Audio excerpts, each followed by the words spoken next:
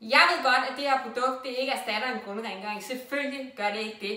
Men den er eddermame smart, hvis lige du skal klare bestikskuffen, smykkeskrinet, radiatoren eller en anden lille boks med nogle Lego-klodser, eller hvad nu det kunne være. Hvis lige du har brug for lige at lave sådan en lille turbo og få det værste snavs væk, så det her er altså løsningen. Den koster nærmest ingenting, og øh, jeg tænker, den er meget god at have.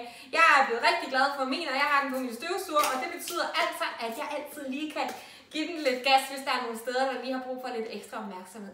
Jeg håber, du kan lide den her lille produkthed, og så håber jeg selvfølgelig, at vi ses på min hjemmeside, der hedder basicclean.dk. Det var alt, hvad jeg havde til dig i dag.